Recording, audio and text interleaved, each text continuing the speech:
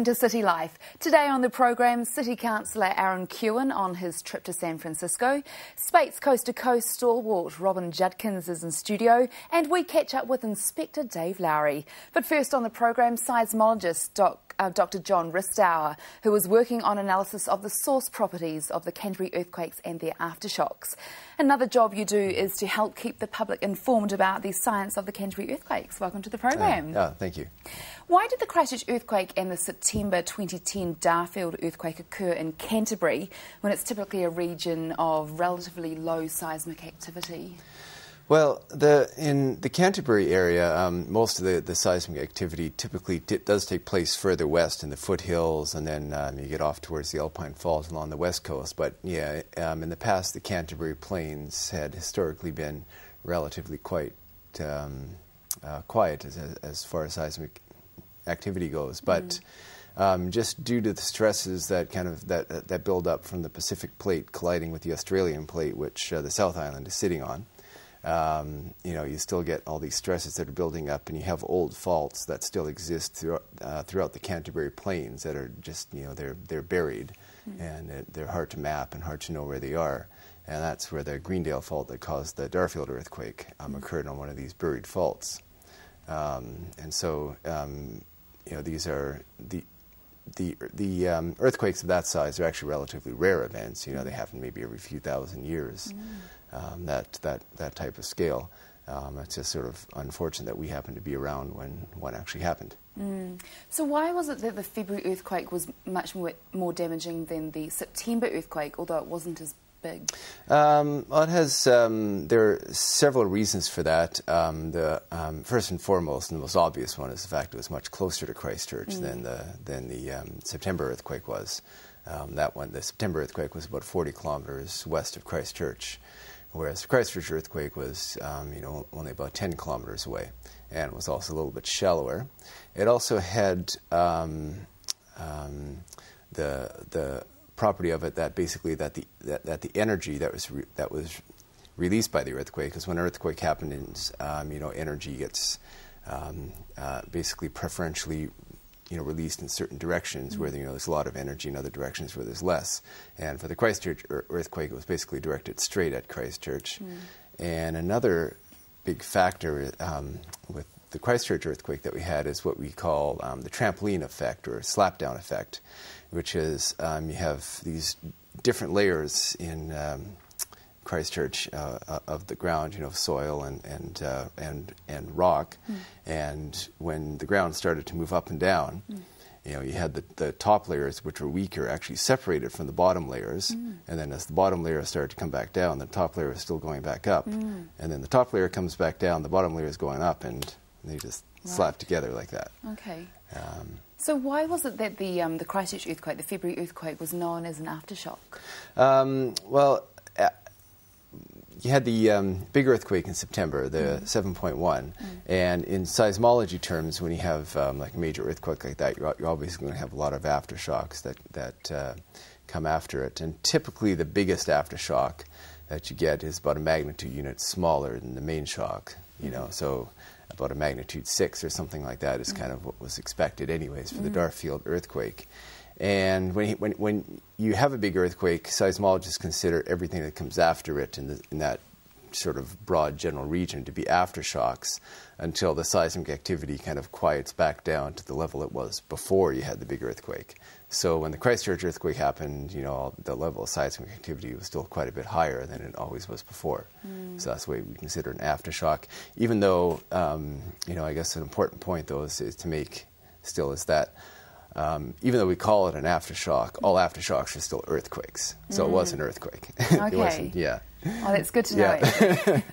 How many aftershocks have we had? How long do you think they'll, they'll keep going for? Um, well, we've had uh, for, um, since February uh, for the Christchurch one, uh, we have located um, probably somewhere around 2,500 aftershocks. Since February? And, yeah, and wow. since going back to September, since um, the Darfield earthquake, um, I think around 6,800 something like that. Oh that's that's something that, that we've located, and there are probably even smaller ones that we um, that that that we haven't located. So that's incredible. On. Yeah, and we can probably still expect them to go on for quite a bit longer. Um, when Darfield happened, we had uh, you know said you know they could go on for a year, maybe even longer, mm. because for major earthquakes like that, that's typically what what you see. Do you think there'll be another big earthquake in Christchurch? Um, well, that's actually that's that's hard to say, you mm. know. But um, um, you know, we keep looking at uh, you know we're looking at the data and trying to decide where different areas are going to get more or um, have have been uh, where stress is built up, you know, because of these earthquakes, mm. and where other areas where stress has been um, released a bit because of the earthquakes, and try and see where they're um, what, what what the effects of that is. But it's kind of hard to say. It's actually you know pretty much almost possible to say whether there actually will be another big earthquake mm. or not. Mm. Okay. Yeah. What about um, the Christchurch and the Darfield earthquakes? Do you think they'll trigger earthquakes anywhere else in New Zealand? Um, well, that is a question. You know, um, you know, people have come up with that, uh, have asked that quite a bit, and um, and large earthquakes like the Darfield earthquakes, they they have been known, you know, to um, trigger other large earthquakes, um, you know, at, at, some distance away, um, because when you get an earthquake that it, that occurs along a fault, mm. it releases stress along that fault, but it also that stress doesn't just simply vanish. You know, it just it gets distributed other places. Mm. So if you get another nearby fault, um, it can actually increase stress on that nearby fault and, and then trigger major earthquake there. So with the Darfield earthquake, one of the first things we um, wanted to know was what effect it had on the Alpine fault. Mm. Um, because yeah. that's always that fault's a big danger for mm. um, you know for the South Island. But uh, um, we quickly found that the Alpine Fault was too far away for the um, you know for Darfield to have had any effect on it. Um, so it's not likely that it'll trigger any major earthquakes anywhere else. Okay. You know, particularly anywhere as far uh, away as Wellington or anything like that. No. Okay. What What's the current research that, that GNS is doing at the moment in regard to the Canterbury area? Um, well, right now we're um, we're um, doing a lot of intensive studies of the aftershocks, mm. and we're doing a lot of uh, of accurate uh, relocations of the aftershocks. We get the best knowledge of where all you know, where the aftershocks are occurring, and we can use that data to also get um, uh, much better idea as to the the structure of the ground underneath. Mm. And um, so we have studies going on at that. We have a lot of work going on with um, with with the GPS sites, where we mm-hmm. have, uh, you know, the, which measures the very slow um, movement of the Earth, you know, that mm. uh, um, you can't see with the human eye, mm. But that happens, you know, in the course of, you know, centimeters per year. And, you know, seeing how, what di- how different areas now might, how it uh, might have changed from before Darfield and Christchurch mm. compared to now.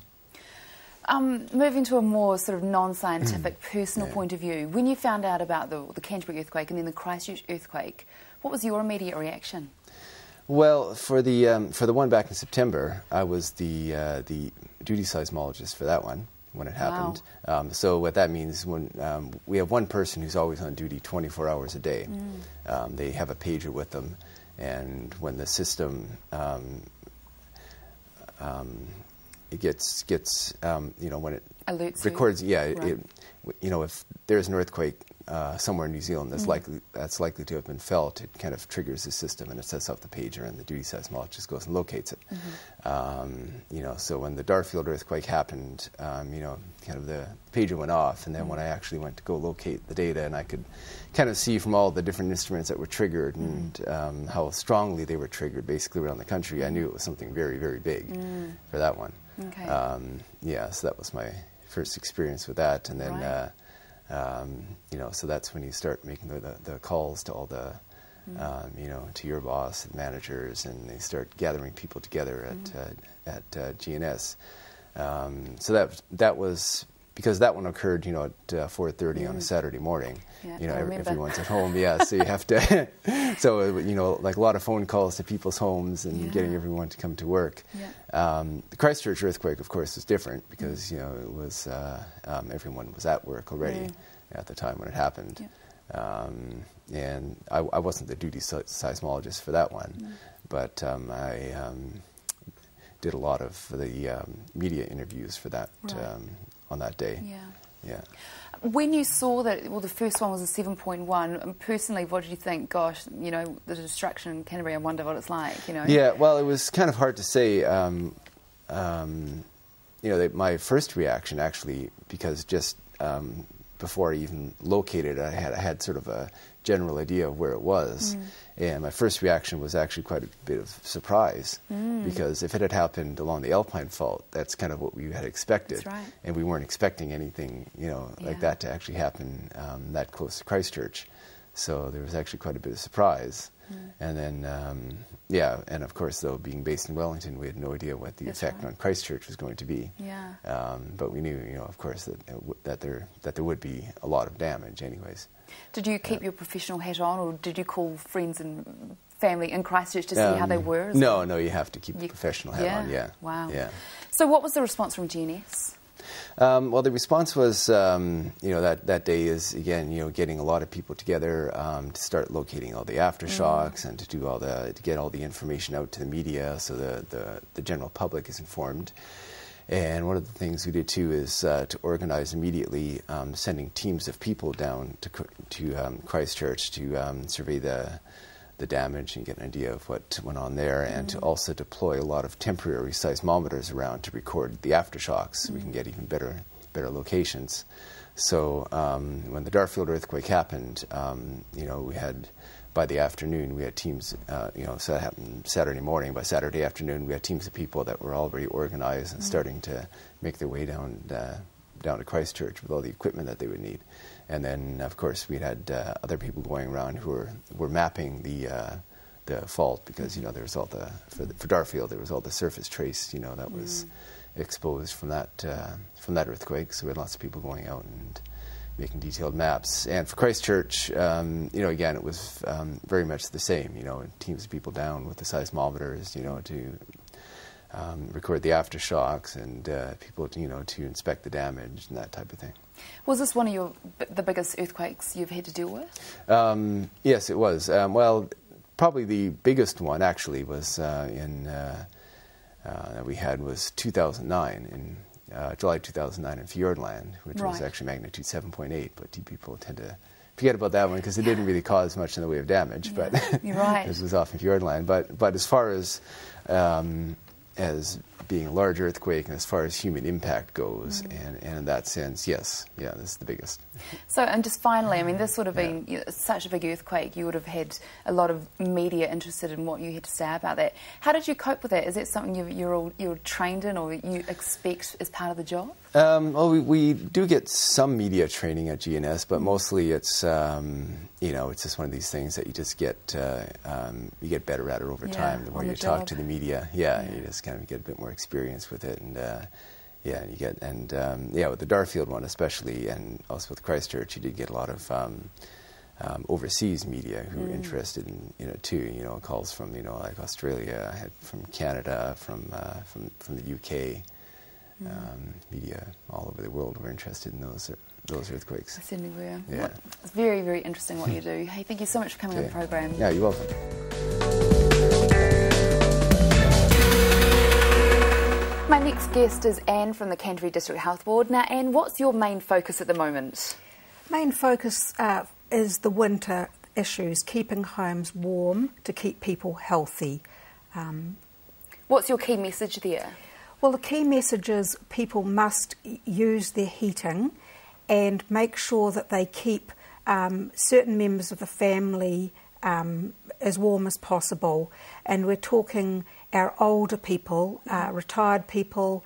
In fact, people over the age of about 50 really mm. can be um, uh, more vulnerable, and particularly the infants as well. The babies are, are not very good at uh, shivering, and you know their little mechanisms mm. don't work the same as others. So yes, keep them warm, and others in the household who have uh, ongoing health issues, maybe heart problems, diabetes, and so on. They're the ones. Okay. Mm. Let's look at some methods that people can keep their homes warm. Well, the number one thing is use your heater. Uh, in spite of the damage to houses, people should use heaters, whatever you've got, um, heat pumps, uh, wood burners, whatever you've got. Keep the living room warm, 18 to 21 degrees. Okay. Bedrooms should be kept warm as well, and the World Health Organization says um, 16 degrees uh, would be acceptable. Uh, some people turn the heaters off overnight, but the worry is bedrooms shouldn't be allowed to chill right down. Um, temperatures below 16 start to become a, a, more of a problem. You must keep the bedroom warm. Okay. Mm. Let's look at ways in we can keep our homes warm or ourselves warm um, when you're sticking to a budget. Because I mean, there there are people out there who can't afford to have the heater on all the time. So, what other ways can they keep themselves warm? Well, people should dress for the conditions. Um, wear some woolen clothing, you know, merino and whatever. Um, wear a Spencer, that's the old fashioned word I know. Um, just, yes, wear, wear a few more layers inside, mm. um, and that means that even if the room is a little bit cooler, um, you know, you're not put at risk. So, yes, wear, wear warmer clothing. Okay. So, if, um, say, for example, our homes have been damaged in the earthquake, how can we can we get assistance with this to heat our homes? Yes, people should um, notify um, uh, the Ministry of Social Development or Work and Income, mm. let them know. Um, EQC are still interested in people who um, have damage, particularly to the main source of heaters. Mm. They've done a huge amount of work putting in new heaters to make sure that as many people as possible have suitable heating. There's a lot of heat pumps have gone in and wood burners, but they've got a long way to go. They're doing a wonderful job. Mm-hmm. Um, but if people let work and income, their case manager know that um, things are not right, and also contact EQC. Okay. Yes, if people are concerned about the cost of heating and things like that, can they get assistance from anywhere? Yes, uh, Work and Income are very interested to know um, about people having difficulties, and they know where to refer from there. Mm. Um, they're the experts in the um, income support issues. Mm. They they know. Uh, lately, they know all of the other ways that people can be assisted. There's a number of schemes going on. Okay. Mm. Um, if people are concerned about their health this winter, what should they do?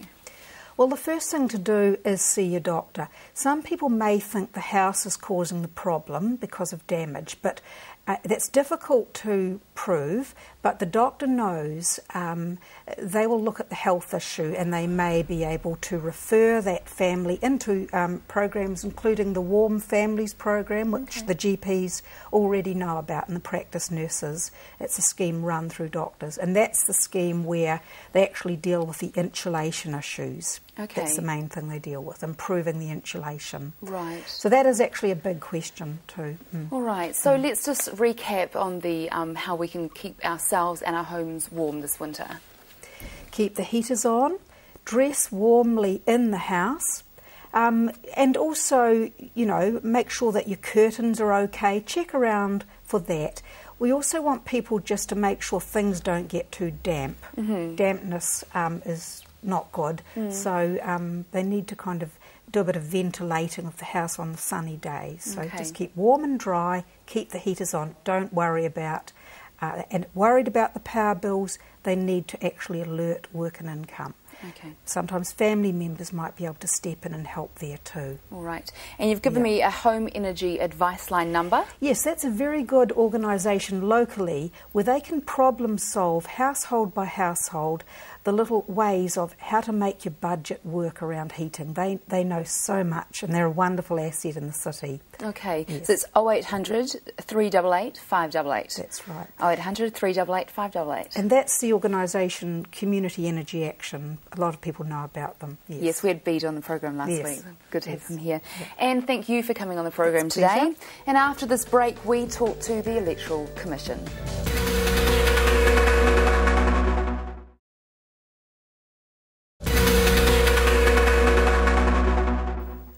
Welcome back to City Life. It's getting to that time of year again when political parties are gearing themselves up for the next election. There's a lot to do before November comes about. Murray, what does your job involve? My job involves getting everybody on the electoral roll and making sure that they're accurately on the electoral roll and that people who aren't enrolled currently get a form, fill it in, and are ready for, to vote. How can we check to see if we are already on the electoral roll? From today, uh, we're sending out enrolment update packs to everybody who's currently enrolled. Mm-hmm. So by Wednesday, uh, posted for three days to deliver those. So by Wednesday afternoon, if you haven't received one, you're not currently enrolled. And we'll be doing some advertising for our free phone service, free text, internet, and you also you can pop down to a post shop and get an enrolment form there. Is the little orange man part of the uh, part of the role this year? The orange guy is. yeah, the orange guy. but we've simplified all the adverts. Uh, they're they're a lot more simpler. We're using icons, and um, you would have seen them by now. So does he does he work as part of the um, the you know advertising the, elect- the elections? Oh, he works very hard. Yeah. he's, he's got to inform everybody about the elections. Mm. And this year as well, there's a referendum on our voting system. So it's not only the, the general election, but the referendum as well. So Orange Guy has got a lot of work to do to explain the, the election, the referendum, and all the voting options. Yeah, he's pretty good at it, isn't he? Sure is. So, what happens with people in Christchurch? You must have a different sort of strategy for Christchurch at the moment. Yeah, year. Christchurch is a challenge. Mm. Um, and there's a lot of things on this year, too, of course. There's the recovery that's happening in Christchurch, which will be exercising all locals' minds. Mm. But there's also that Rugby World Cup, and that will uh, be a lot of attention being focused on that. Mm. Um, we've got to get through that clutter. But the, the first thing for Christchurch people is that uh, there's a particular uh, part in the legislation, and I don't want to bore people by getting into legislation. Go on. but it, it says um, that you reside at the place where you make your home. Mm-hmm. And it also says that just because you're occasionally absent from that home, it doesn't change the fact that that's still where you reside and you're enrolled there. Okay. So putting that to the practical uh, part of where, uh, for Christchurch, mm. people have been displaced, mm. if that is still classed as their home, they intend to go back there one day when it's uh, rebuilt or rebuild there, mm. they should remain enrolled there. What we'd like them to do, though, on their enrolment form when they get it, is put their current address as their mailing address, and that ah. way we can keep in touch with them. Ah, that's a good way. Mm. Is it um, by law we have to be enrolled? It is. Yeah. Uh, it's compulsory enrolment uh, mm. in New Zealand, uh, but it's not compulsory to vote. Okay, that's interesting, isn't it? So, what are the main points you want to make this year for people with the, the packs coming out? What are the main points for this week? Uh, the packs are coming out this week. Yeah. If you haven't got one by Wednesday, you're not enrolled, so you need to get an enrolment form. Okay. If you do get it, open it, check your details. Mm-hmm. If they're correct, that's fine. Yeah, you, you, do nothing else. You can you sit tight. You're ready to vote. Okay. Uh, if they do need to make an amendment, do so, send it back to us straight away. And it'd be good to get them back straight away as well, and then you know that it's done. You can yeah. start watching the World Cup and not worry about your enrolment details. Yeah, exactly. The other thing I'd like to, if you get packs for people that are no longer at your residence, send them back to us because we'll take their names off the roll. They're no longer eligible to be enrolled there. Okay, that's good. So by Wednesday, if we haven't got our packs, we should call you yep. on the internet? Give us a call, uh, 0800 36 76 56. Mm-hmm.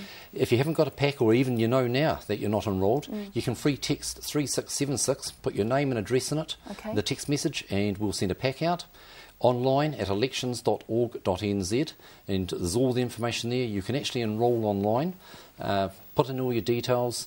You can then hit the submit button and we'll post the form out to you for signing. Otherwise, you can download it, sign it, post it, scan it, and email it to us. There's a whole lot of options there to, to get enrolled. So it's really easy. Oh, great. Murray, we all have to have our say on election day, don't we, really? Sure do. and as I say, there's a referendum as well, and that's mm. important the way we're going to uh, vote in the future. Great. Well, thank you so much for coming on the program, and we'll um, definitely check out the Orange Guy. Pleasure. His busy, busy work and his job. After the break, Speight's Coast to Coast's Robin Judkins.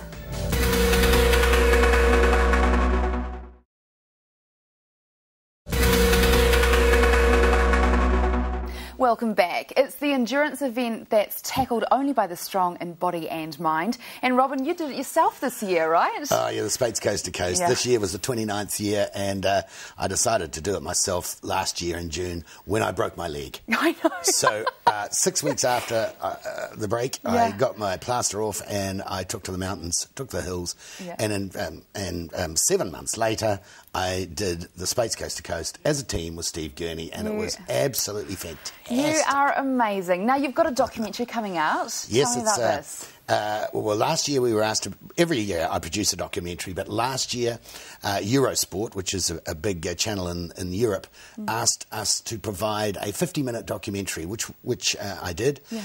of this year's race, and the quality was so good, Mm. um, they wanted it in high definition. So. Um, uh, three weeks ago, I um, I tried it out in a cinema in Auckland, Mm. And it was so spectacular that I decided to release it first in. In New Zealand, in cinemas. So I started last Monday Yeah. in Whangarei, and I've made my way around the North Island, and I'm down back into the South Island. I'm doing a, a theatre every night in a different city. It has been outrageous. We have full houses every night, Amazing. and um, it, it's quite a knockout. You've turned multi-sport people into camera Mm. people. How did you do that? Well, traditionally, we've always used film people for the event, Mm. but um, I wanted to get into the heart of the event, which was in the mountain section and in the river. And the only way you can do that is to use people who are very good at those things. Yeah. So we trained up a whole lot of um, former um, multisporters into camera people, well, both men and, and women, Mm. Yeah. and then we put them, inserted them into the race. So they're in the cycling sections, they're in the mountains running sections, and they're in the river. And consequently, the, the footage that we got was spectacular, absolutely fantastic. Now it's becoming an internet success as well, isn't it? It's Yeah. been a knockout. Yeah. Four years ago, I decided to devote the, the, the, the money that I normally put aside for television production, I'll put it into the internet. So that's why I trained up these multi-sporters. We started off the first year, we went with a, a li- some, pe- some live pieces, some pre-recorded and post-recorded material. And we went out, um, unfortunately our server failed after half a day and we'd got one and a half million hits. The following year, we served it out of America and we got 11.4 million hits. Last year we got 14.1 million hits. It is mind boggling. Oh, gosh. And because of that, uh, the numbers of internationals in the event have risen so dramatically that they are now second only to Canterbury as a region. Oh, It's gosh. fantastic. And this year, um, or rather next year, 2012, will be the 30th anniversary of the race. And I expect that internationals will exceed all, o- all other regions, including Canterbury. Oh my gosh. Yeah, yeah. Now, there's been about 70 um, television docos on the coast Mm-hmm. to coast. How different is this one? Well, this one follows. Uh, this one is really different because it's got so much about the mountain running section and the river section. It covers it much, much better than has ever been done before. That's the significant difference. Okay. And um, so now is a pretty good time for people to start training for the Speight's Coast Oh, to Coast? absolutely, because Yeah. Mm. the entries have just opened as well, and we're looking for a bumper field. 800 is the max that I'm allowed to uh, have in the race. Okay. Looking for that uh, for next February. Robin, you're a good man. Okay, Christchurch, Monday, June 20th, 7pm and 8.15pm, Hollywood Cinema. That's your cinema, right? Yeah, Sumner That's your Cinema, big yeah. cinema too. Yeah. Doing two shows, one after the other, and actually I'm going to schedule a third show because in Auckland I did three consecutive shows at the Rialto in Newmarket, and they were all pre-sold. Everything was sold out in advance. It was extraordinary. I mean, New Zealanders like to watch New Zealand stuff. They do. But this is the first time that a New Zealand sports event, Mm. has, a documentary of it, has ever been shown in cinemas around New Zealand. So this is brand new territory, and people are coming out to see it. June 20th, and we can pick our tickets up at coasttocoast.co.nz. No, you just turn up on the day. Turn it's up. first in, first served. It All was right. fantastic right. in Auckland. The, cinema, the foyer was absolutely chocker with people. Oh, yeah, yeah. It always Get there early good. then. Create a crowd. Yeah. Sell more soft drinks. Hey, thanks for coming on the program. Oh,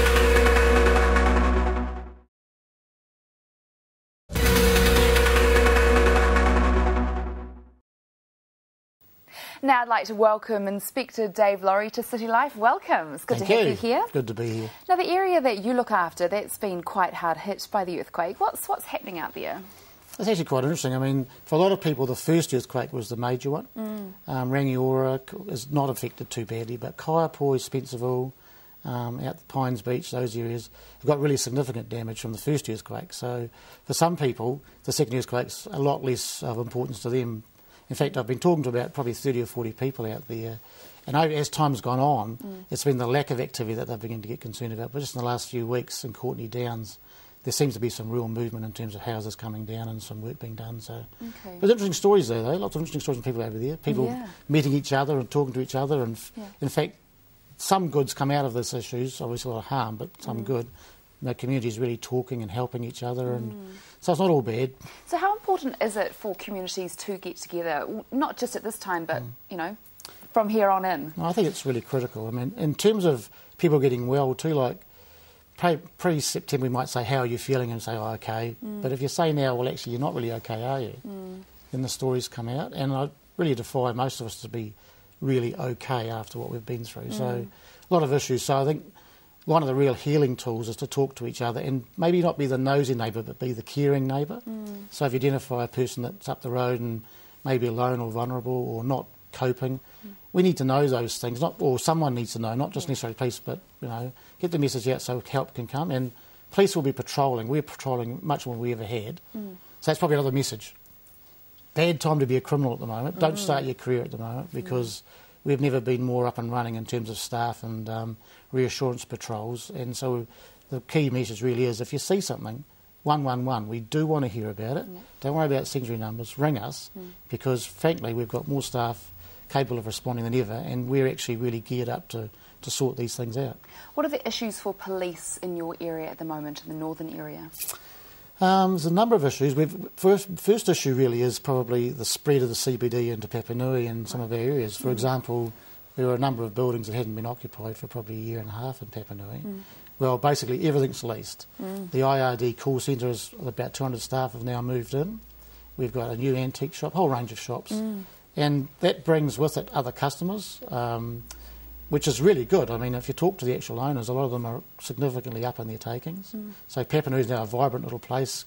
But we've also got a few bars opening, and that in itself's not bad. It's just that sometimes it attracts predators um, into the areas. So what we're doing at the moment, in fact, I was before the council um, yesterday asking for a liquor ban around Papanui and Merivale.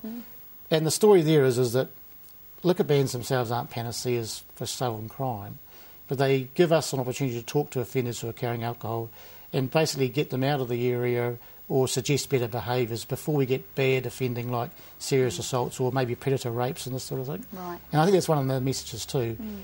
As we change our drinking um, ideas into the suburbs, mm. people need to take a little bit more care. I mean, previously you might have wandered down to your local bar and wandered home. Mm. Just be aware now there might be a new set of clientele and offenders coming into your area to predate. So that's without frightening people. It's just making some extra precautions. Is that an issue in the northern area at the moment? Um, yes, we've had a situation in Jellie Park, for example, where some of our sexual offenders have sort of moved in there. We've got schools nearby that are doubling up. And um, we've caught some offenders. We're doing some training, for example, with the um, the pool area there, so that they keep an eye on who Yeah. not coming. I mean, if a chap is in the changing rooms for 10 hours, might be suspicious, maybe, these sort of things. So, But once again, not trying to frighten people. We've had some really good changes. Like, one of the real positive things, I think, is the schools being together. Like, mm. some schools are now cohabitating with mm-hmm. each other Yeah. really getting on well, and it's a real challenge for the youth. And I think one of the real positive stories out of what's happened is how the youth have really picked up. I mean, getting into town and helping. I mean, I think Canterbury youth sometimes get a bit of a bad rap meter-wise, mm. but I'd like to think that they're doing a really fantastic job, the youth, and most of the ones that I've seen around town are fantastic people and doing well. Now, that you, there was a liquor ban in the Riccarton area, and that seems to be working. So you're hoping to bring one into Papanui? Funny enough, there's always already been one in a permanent liquor ban in Papanui for mm. years, and that Oh, was really? to target the mall. Right. But it achieved its goal, which was to reduce drinking around the mall area. Yeah. And it almost become, it was in existence, but didn't need to be policed too much. Mm. But now we've got a couple of new bars arriving, and um, we are concerned. I mean, it doesn't take a rocket scientist to predict this. Mm. So what we're trying to do is to get these bans in place early Mm. to prevent the victimisation. And that's the key. If we can prevent things occurring Yeah. based on our previous knowledge, and then we can actually have a real inroad into reducing overall crime. So when will we know if this has um, come, come about? Well, it's working its way to the council. As I say, I went Okay. and talked to the mayor and his team yesterday, and Yeah. I'm hopeful that it will come in pretty quickly. I mean, they also realise the pragmatic approach. We don't need to have hundreds of stats on victims that have been victimised. Mm. Let's make a decision based on past history and actually do it before people are victimised. Makes sense. Yeah. Now, part of your area is North Canterbury. Yep. Um, people from Christchurch have, uh, you know, displaced, are displaced, and they've gone into sort of the Rangiora area.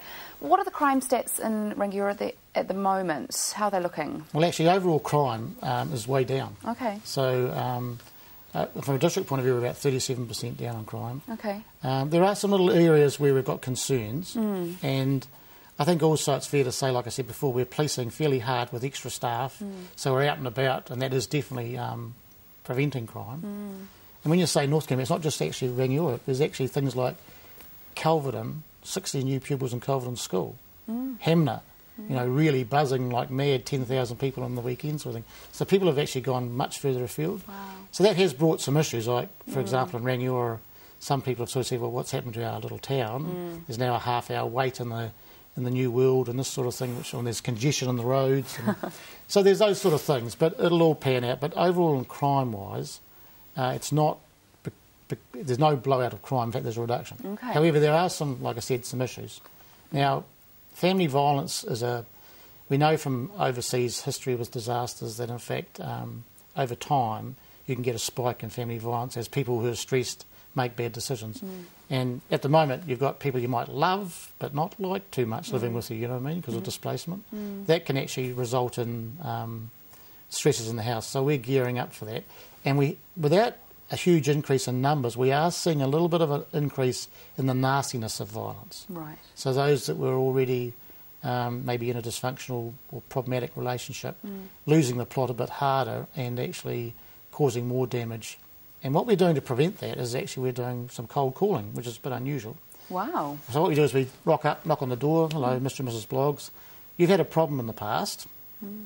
We're well aware of it. You mm-hmm. may. What are your circumstances now? How's it going? We're not going to be accepting of any sort of leniency around violence. Mm. I won't say kick the cat because some animal rights will be at me, but don't kick the wife. All right, go for a walk. Get it, get your violence out in a different way. If you need assistance, here's some ideas that you may get assistance from. This sort of talk, Okay. which is a bit unusual. You get interesting Yeah. reactions that way. Yeah, because you're how's it arriving. going? Well, it's actually quite interesting. It's um, everything from uh, out of here, please, to actually pleased that, that you care. And I think the pleased that you care is coming through quite strongly, especially from the victims. And so that's really quite powerful. Yeah, all right. Hmm. Well, Dave, thank you so much for coming on the program. It's good to hear about your area. We'll catch up with you in a couple of weeks to see how it's going. Nice. That's all right. All right. Well done. Thank you. Um, and we'll be back after this break.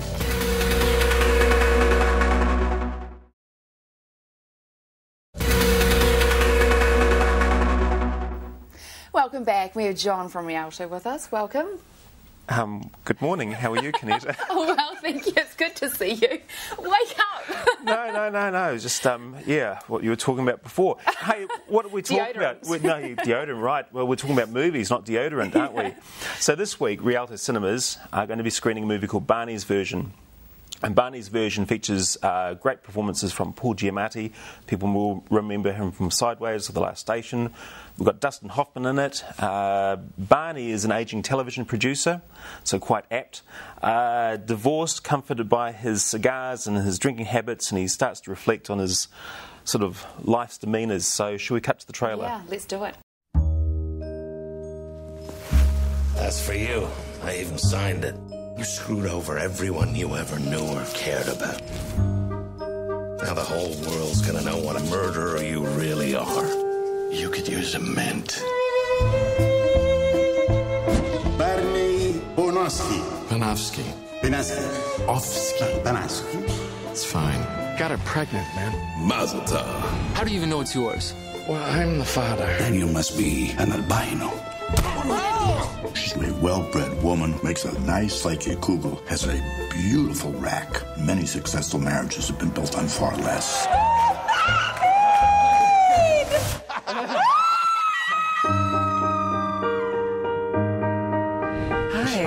Haven't met. I'm Barney. I'm Miriam. Are you doing anything later? Because we could still catch a flight to Rome. The bride may take issue with that. Will you put that out? Yeah. A lot of my relatives have asthma. Don't be ridiculous. We just met at your wedding. It's not funny. For the first time in my life, I am truly, seriously in love. So am I, Barney. So am I. And is she the one? Is she the mother of your children? Absolutely right, then let's do it. I don't know where to start with how inappropriate this all is. Why don't you just skip ahead from where I'm annoying and inappropriate to where I'm charming and endearing? Salute. Salute. That was my first gun. I want you to have it. I should kill you for this. What you should have done was call first. How come you didn't mention this gun? I'm just going to keep talking because I'm afraid that if I stop, there's going to be a pause and you're going to say I should get going. There it was, the pause. I'm still here.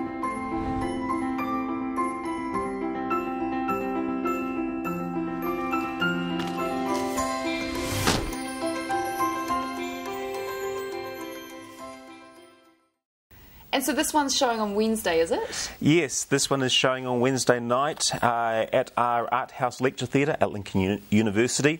Now, if people want to sh- uh, sort of find out what's going on, what Rialto are doing, where we're playing movies, etc., they can phone our movie information line, which is 374 9404, or they can go to the Lincoln website, which is www.lincoln.ac.nz slash films on campus. Now, tickets are really cheap. Oh, good. Yeah. How much are they? Oh, Tell us. Seven dollars for students or seniors, eight dollars for adults, Oh and we're showing new release movies, so it's well worth the trip. Great. So how's it going out there at Lincoln? I mean, I know that because you can't get into Rialto, you are at Lincoln University. Yes. How's it going? It's going all right. Yeah. We're sort of we're getting uh, audiences anywhere between sixty to hundred. Hmm. The uh, theatre seats three hundred, so we've got plenty of seats for Okay. yeah. What other movies coming out this week? Well, we've got The Hangover 2, because Yeah. we, we were going to trailer that, but uh, Bunnies came along. So The Hangover 2 now, this takes um, sort of, we sort of follows on from the previous um, Hangover movie, where the bachelor party was in Las Vegas. Well, the boys then go for um, Stu's wedding, and Stu decides they're going to go to Thailand, and uh, they're going to have a wedding brunch. However, things go seriously awry from there on. Uh, this stars Bradley Cooper, Ed Helms, and Zach Galifianakis again. Yeah. And there's a fantastic uh, cameo performance from Ken Jeong as Mr. Chow. So look out for that. That'll be very, very funny. I mean, if anybody saw Hangover, they Yeah. are we going to love Hangover 2? Oh, this is going to be riotous. It is going to be so funny.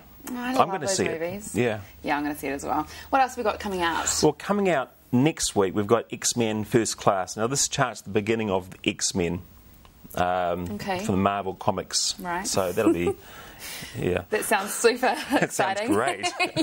I can hardly wait. Do you love X Men? Uh, I uh, I would have to confess not to seeing any of the Okay. X Men movies. Yeah, Yeah, I, I'm Yeah. going to confess as well. Right, Yeah. but we had to put it in there. Yeah, okay. Anything else? Anything for the ladies? I suppose Hangover 2 could be for the ladies. Hangover 2, yeah, why not? I'm dragging my wife along to see it. Yeah, okay, Yeah. cool. Um, what else is happening out at, um, well, in the cinema world? What, what um, cinemas are open at the moment? Well, of course, we've got the Hoyt Cinemas, Mm. Riccarton and Northlands. We've got Sumner, the theatre out there, um, and we've got Cinema 3 out at Hornby. Okay. Yeah. And just tell me one more time, where can we pick up the tickets for Rialto for Wednesday? Well, come along to the uh, to the theatre out at the Stewart Theatre out at Lincoln. Mhm. Ticket sales on the door, cash sales only. I'm afraid uh, we're sort of operating very a very sort of. Oh, I'm I'm lost for words. I'm lost for words. We're all lost for words. Yeah. words. John, thank you so much for coming on the programme, and we'll see you next week. Thank you, Kanita. Bye.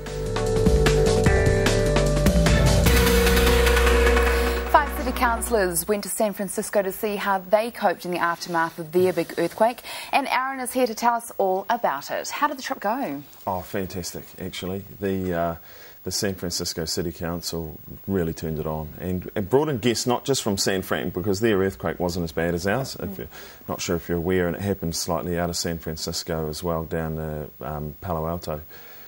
But they brought in people from New Orleans that are doing Hurricane Katrina. They brought in people from Harvard University, who are some of the world's, uh, you know, best minds in earthquake, uh, well, disaster recovery, really. Mm. What sort of things did you learn there? Oh wow! Probably the the main lesson is that in the recovery process, because we're out of the emergency now, we've got we're heading into recovery, Mm. and the best part of the recovery is done, or the best practice globally is when you involve local business and business leaders as well as the council and community groups. At the moment, it seems it's council, government, community groups, Mm.